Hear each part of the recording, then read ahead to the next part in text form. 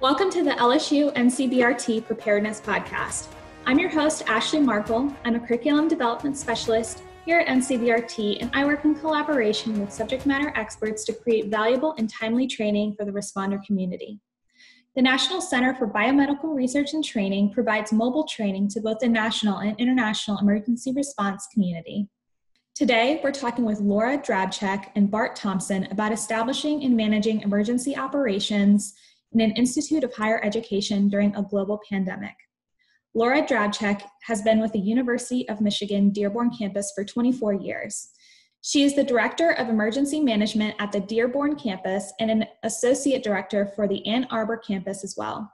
She's been working in emergency management for over 10 years. Bart Thompson is the Chief of Police at Louisiana State University. He has 32 years of experience at the Baton Rouge Police Department and has been with LSU for 11 years. We want to thank Laura and Bart for all that they do to keep us safe and for joining us on the podcast and sharing their expertise on this topic. COVID 19 has wreaked havoc on what normal looks like at our institutions of higher education. So, Bart, what immediate adjustments have you had to make on your campus, like maybe when it you know first started really blowing up in the US? The university was uh, basically shut down within a 48 hour time period. Uh, faculty started planning online courses. Uh, ResLife started relocating students uh, who could not go home. Our, our, campus EOC, Emergency Operations Center, was activated. Uh, the police department concerns at that time were wellness and manpower. Uh, so we went to a 12 hour shift, which we were basically still working. Uh, supplies, we started looking at supplies and, and what we need. Uh, we didn't have roll calls that we normally would have and we started doing wellness checks.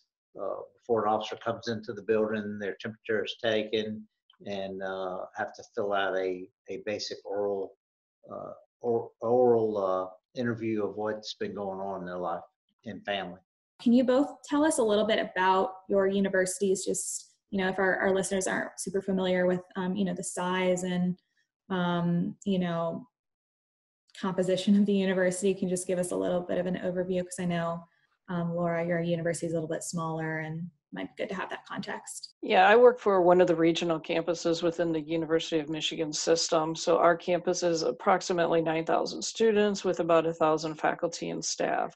So relatively uh, small in size compared to the main campus where they have over 40,000 students. Uh, they also have a health system, Michigan Medicine, uh, that's part of you know that composition and you know but we're all one institution. We all report through the the regents of the university of michigan. And you know we do rely on the services that the main campus provides to us and support from time to time. And actually we've identified some of our 3d eh, for certain critical areas within our eoc structure would would rely you know we'd have to rely on ann arbor for that so, you know, we do rely on the main campus, but we try to be as self-sufficient as we can within time. Uh, LSU is the flagship university of the state. Uh, we have six other uh, satellite campuses uh, included in the uh, LSU system, including two hospitals, a large vet school. Uh, we consider ourselves very large within the SEC network. so we, we feel like we're in the top 10 of of large universities. Uh, and by the way, we are the national championship for football. And if we don't play next year or fall, we'll get to keep that. that is true. I didn't think of that. Um, okay, thank you for that. Well, our approach was a little bit different because I think, you know, the state of Michigan came to the table a little bit later in the COVID 19 outbreak, um, later than some other states. And our students were actually on spring break. Um, the February 29th, I think, through February or through then March 8th. So it looked a little bit different for us because then we did not get our first presumed case in the state of Michigan till the 10th. And by that point, we had already had all of our students back from spring break. So that was met with some interesting challenges for us on the campus. So we had to, to make some quick decisions on what we were going to do as, as next steps, even though we had been meeting and planning prior to. Um, I'd assume each institute of higher education should have a campus emergency operation plan. uh, which would cover or which would outline relationships between all the key players throughout the operation uh, emergency operations center uh, management structure. So, can you tell us a little bit about your campus emergency operation plan? Sure, I'd be happy to. So our emergency operation plan is, is pretty comprehensive. It starts off with a, a basic plan. So it's a structure uh, that outlines our process uh, using an all hazards approach. Um, and in, within that, it, uh, it identifies our emergency operation membership and coordination of our EOC. And we've built in a lot of flexibility because we are a relatively small regional campus. Uh, we needed to build in that flexibility so that we can scale based on what the incident was. We've uh, we're able then to build out a little bit more of that base plan by actually reaching out to key external stakeholders because we recognized early on that no matter what the incident would be, the likelihood would be that we would quickly run out of resources we did have the luxury over the past uh, year, uh, late into 2018 and through all of or most of 2019, we were engaged with with uh, key stakeholders, external stakeholders, hospitals, local police departments, county police departments, federal agencies, because in August of 2019 we uh, did a full-scale active shooter exercise. So that really laid some nice groundwork for the relationships that continue through today, especially with our partner, our hospital partners that we have in the area, because they immediately looked to us early on in this pandemic for uh, additional space if they needed to to build some field hospitals out. And then our plan also identified um, hazard specific annexes. So those would be areas and things that we were discussing around fires, pandemics, uh, hazardous material releases. So we had a pretty robust uh, infectious disease uh, pandemic plan, but you know it was met with some challenges when we meant you know when we went to implement it.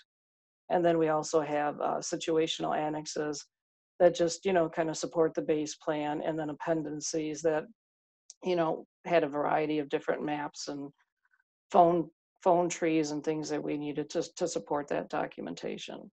So overall, I think our, our um, EOP is pretty robust. It worked pretty well for us, but there's been definitely areas that we identified through this process that that uh, need improvement, as I think most plans do. They're just a plan, they're a starting point, they're a launching pad, but it gave us a flexibility to to expand and contract as we needed to throughout this pandemic. Yeah, similar to Laura, of course, we have a plan, uh, but we had no plan to experience what we're going through now. Hurricanes, yes, uh, but not this. Uh, our operation plan, along with the EOC and MOUs we, we have with DHS, uh, each EOC team, and there's four, has an incident commander or an operations, planning, uh, logistics, finance, and facilities. And once the uh, EOC is activated, then everything is run through the EOC. Uh, we're coming to the table almost daily and, and making changes to that plan because again, I don't think anyone uh, has an expert that can say they uh, they've experienced what we're going through now. Okay, so we, we went into this a little bit um, in that first question, but um, how did your plan inform your approach to responding to COVID 19? Bart, could you expand a little bit about, upon that? Yes, the the EO, EOC operation works well, but we also have a what we call EOC core team. And the core team is a smaller leadership group, which includes uh, Stratcom communications on the campus, uh, PD, IT, facilities, and campus life. And this group makes recommendations to the university president. Uh, operation is changing daily based on testing, based on supplies, and the direction of the governor. Uh, currently, the governor just extended our stay at home uh, for two weeks, which was not expected. Uh, so again, we're back to the table and making some changes. I think as Bart just mentioned in his last statement, you know, it's as the governor's making changes and plans to when states can be reopen and how they reopen, we're met with those same challenges because the governor here in Michigan just extended the stay at home order you know, she's going to allow some construction to begin next week early. So we're planning to, to resume some campus construction. But again, a lot of our planning uh, efforts are going to be around what, what we can and can't do based on what the executive orders from the, the governor is. So, Laura, you mentioned um, that you've you know been met with some challenges and had to make some adjustments based on um, you know COVID nineteen is kind of an unprecedented uh, event. Um, so, how did you make adjustments to the plan um, for things that you might not ex- have expected? I think we've had to be pretty agile and nimble moving through the process, and we had to do a lot of anticipation. We engaged our medical experts that we had within the university system and having Michigan Medicine, which is our health system. It was helpful because we had specialists that, that could help somewhat guide us through some of the, the process and provide as much insight as they could around this virus, even though that information was very limited. But even having that little bit of information was was extremely helpful. But we did have to pivot a lot through this process as, as we continued to make changes. Uh, yes our biggest adjustment to the plan is and still is is supplies. Uh, the, the police department teamed up with ncbrt who is on the lsu campus uh, within the first 24 hours and we obtained a large amount of uh, safety protection items from them and the uh, LSU Health Science. Uh, the university is currently making level one PPE gowns and face shields uh, to help the needs of the universe of the uh, hospitals and nursing homes. But supplies, like everyone else, has continued to be a adjustment that we're having to go through. Absolutely. So it sounds like it's it's so important to um, to have people in place whose job it is to make these plans and respond to these complicated situations. So, Laura, can you tell us why it's so important to um, to have a campus emergency management program? Yeah, I think in instances like this, it really becomes the backbone of the institution. And I think we've learned over time that colleges and universities aren't immune from from uh, tragic incidents. But as a community we need to come together and be able to build plan train and exercise in order to to become resilient so that we can survive whatever is down the road. And i think this will be a telltale sign on how institutions of higher ed you know have prepared for this and, and where they end up at the end of the day when when the dust settles here I, I think it would be difficult for a campus to navigate and manage through a scenario like this without an emergency management program and I've often wondered because I think we've had the luxury here at the university to be able to have a program that's strictly dedicated where individuals are dedicated to that mission of, of creating these plans and preparedness and training and exercise. You know, some of the small campuses, uh, you know, it, sometimes it's multiple hats that individuals are wearing. And having been in that situation before, wearing a dual hats as an EHS director and EM director, it always seemed like environmental health and safety took precedence over some of the uh, issues that needed to be uh, addressed for emergency management because EHS is so heavily uh, involved in the regulatory and, and EM not so much. So it was always a balancing act. So I think having a dedicated program is extremely important, and that that really helps focus the efforts of the institution and really gets the uh, the stakeholders within the institution behind a, a strong program. Yeah, I agree. Uh, it helps the leadership team in making decisions along with managing the incident. Uh, university leaders are often academics or business people, and they're counting on that emergency manager to guide them through difficult times. Uh, we, like most universities, uh, in a emergency crisis, uh, find that we become an island quickly. Uh, the county, the parish, uh, do their thing, the state does their thing, and, and we're sitting there floating along. So we've got to have those uh, leadership guidelines uh, already on paper uh, to help us move forward. Um, so Bart, can you tell us, did you utilize a continuity of operations plan and what does that plan look like? Uh, the EOC, EOC core team, uh, as I mentioned, we meet daily. The EOC director meets with the university president and his senior team uh, all emergency operation are scalable. Uh, specific people are included or not included depending on the situation. Our continuity of operation plans were helpful. I, I think through the process, though, we, we recognize that there's more detail that we need to capture in those plans or for the, from the individual units. they focused more, our plans did on, on shorter term events. And since this is going to be an extremely long event, we're having discussions around what that's going to look like moving forward and how do we continue operations and even what are we going to do around the fall term? We've made decisions to stay remote for spring summer but long term what does that look like? And it's even forcing us to to redefine what essential functions might look like down the road.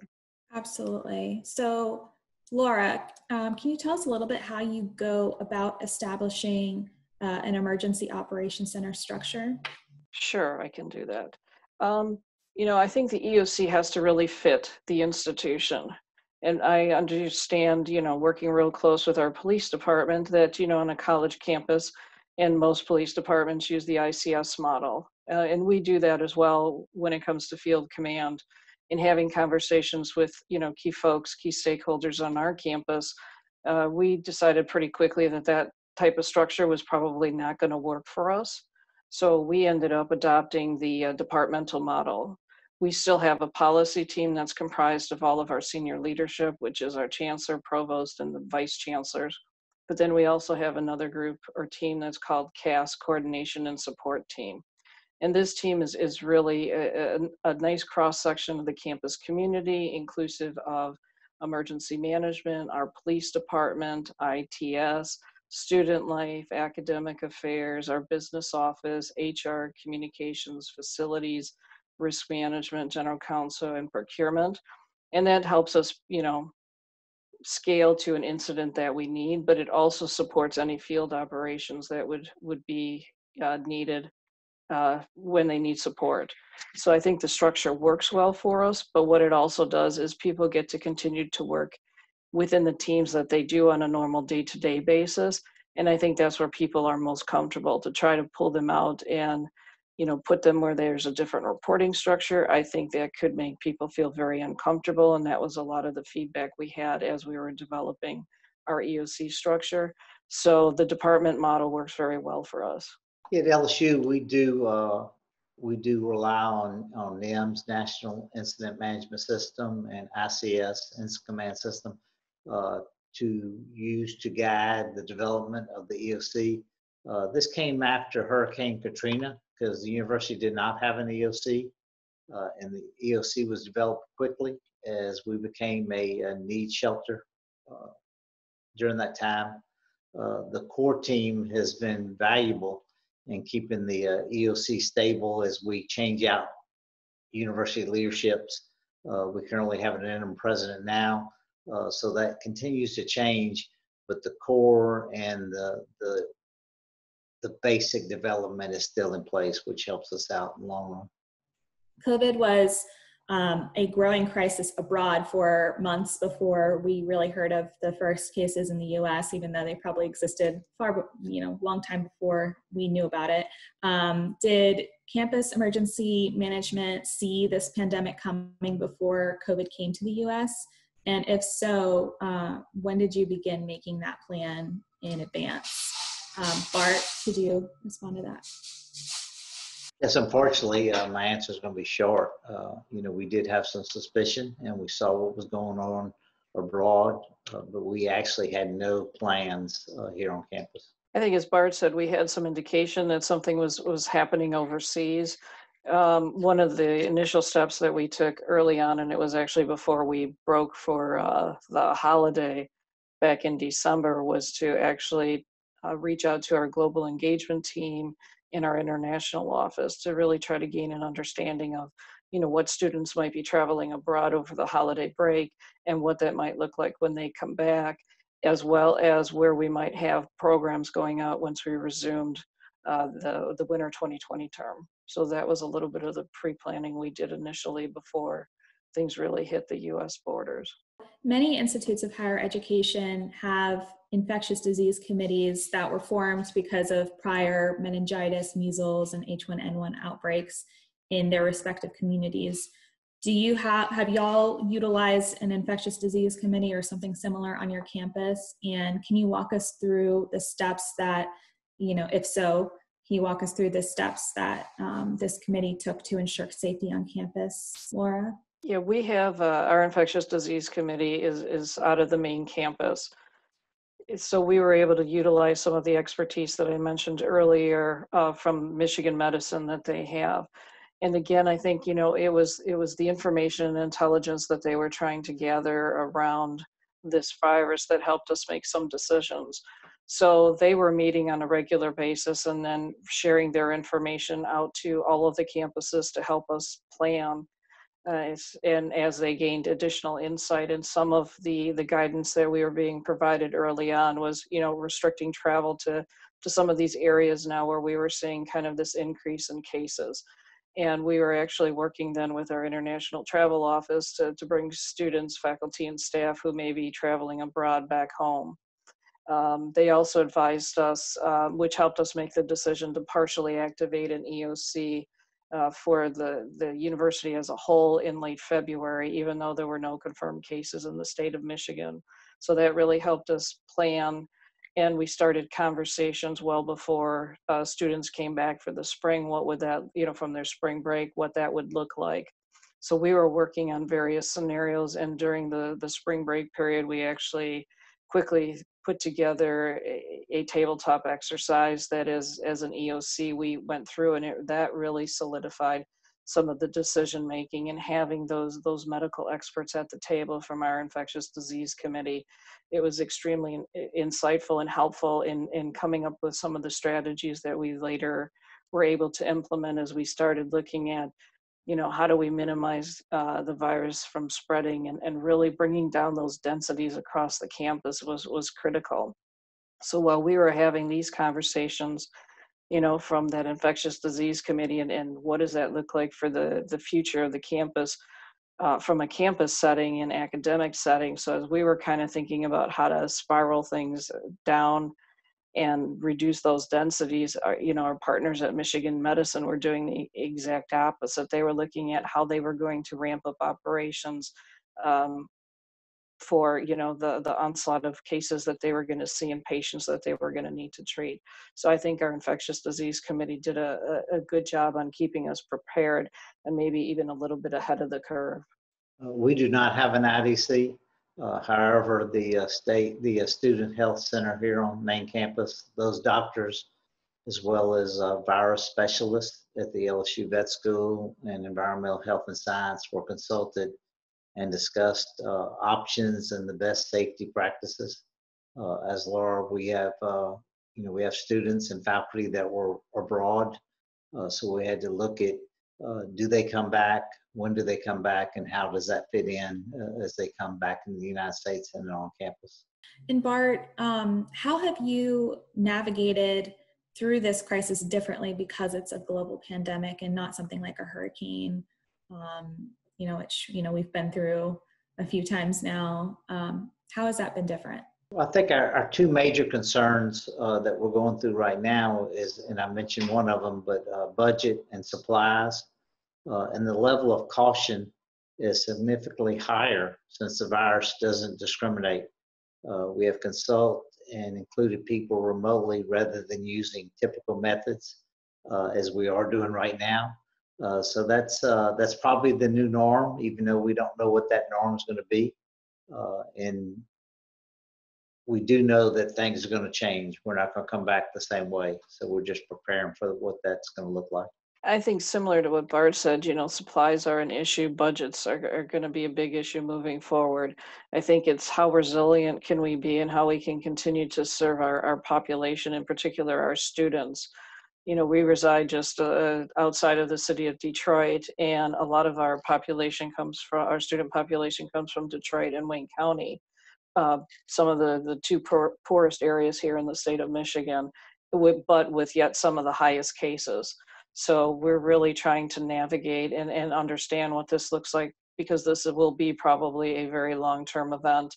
And typically some of the events, you know, that you mentioned, like hurricane or even active shooter, they're, you know, pretty over pretty quick. This is going to be something that we're all in it for the long haul. And I think that's really the dynamic that's very different here. So with the pandemic going on, there's been a lot of conversation regarding shortages of PPE, and Bart, you mentioned that a little bit. Um, you know, not having enough of these supplies to supply to hospitals and um, to law enforcement and things like that. Has that has that been something that's impact your camp impacted your campus or foresee it impacting having a huge impact on your operations? Yes, of course, like normal, we'd reach out to the parish, the county, and uh, state resources. Uh, but as you mentioned, unlike a hurricane, uh, what happens in a hurricane situation once the the storm is over, and that's what some of our people are saying. When is the eye coming over? We should be finished by now. Uh, but we go to the uh, unaffected areas uh, and get supplies. We've even had in the past where cooks will come in from other states, two or three states over. Uh, but at this point, there's none. There's no unaffected area. Uh, and that's why the university started looking at designs. Uh, we had a science professor actually came up with a plan to be able to make a PPE gown. Uh, the university uh, president saw what was going on, and we have moved that production into our basketball arena, which has now become a production center. Uh, we have facility personnel, administration, NCBRT folks uh, making this product and shipping it out to assist uh, GOHSEP and some of those other areas, especially the nursing homes that have nothing. Uh, we have some of our smaller police departments that uh, th- two weeks ago uh, still did not have any equipment. Uh, so I think that's one of the main changes you'll see throughout the country uh, is is is things change and we start looking at what the need is because uh, no one can tell us that it's not going to come back this time next year. Yeah, I think for us the PPE challenge was was a great one. You know, we've had some PPE in storage, you know, primarily to support research that was occurring on the campuses. Early on, you know, we knew there was a need for the hospitals for PPE. So we took a look at our inventories and uh, we donated what, what we could. And, you know, now we're looking at how do we rebuild what we had so that we can return safely, and, you know, if we can return safely and what does that PPE supply look like down the road? We've also shifted, you know, researchers have shifted what they've been working on, and some of them are working on COVID 19 research.